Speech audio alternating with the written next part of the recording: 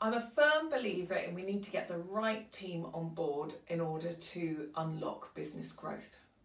So the recruitment support that I offer is very much grounded in being super clear about what are the requirements of the roles, the absolute requirements, not the wish list. I also look at recruitment from a point of view, it's not a recruitment campaign, it's a marketing campaign. We have to attract the talent um, that we deserve.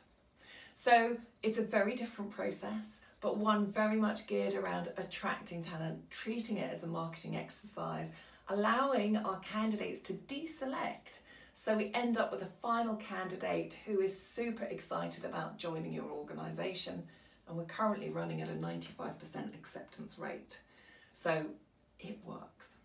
If you're interested in being coached on how to do this or indeed you like the sound of it, you're struggling with recruitment, you haven't got time, then I can do it for you. So just reach out to us and let's have a conversation.